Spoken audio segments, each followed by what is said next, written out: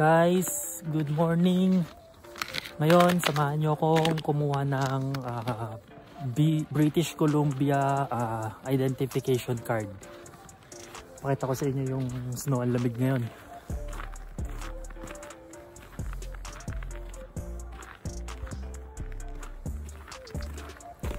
Yan.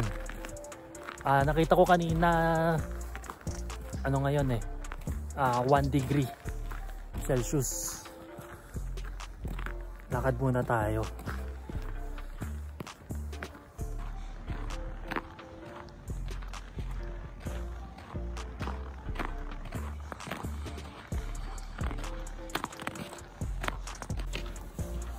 Ang dinala ko palang requirements is passport tapos uh, yung work permit tapos syempre huwag nyo kakalimutan kung saan kayo nakatira yung address nyo dito sa Canada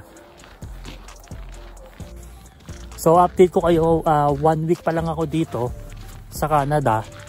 So lahat yan, kailangan nating i-apply yung medical card. Pwede nyo i-apply yung online. Tapos yung identity card nyo dito sa Canada, i-apply nyo rin siya.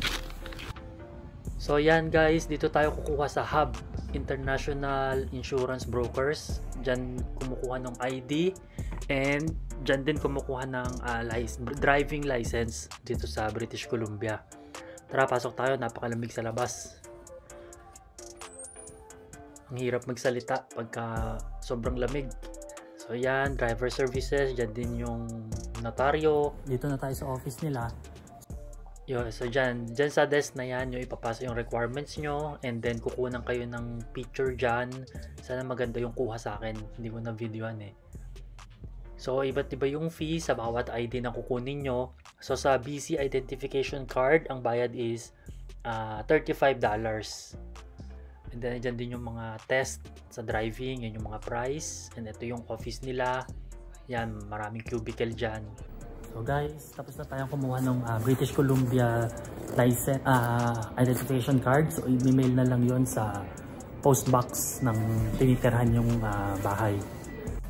So, kailangan nyo lang ipakita is yung work permit tsaka passport nyo. Kasi yun yung main, main identification nyo dito sa Canada habang wala pa nga kayong uh, identification card.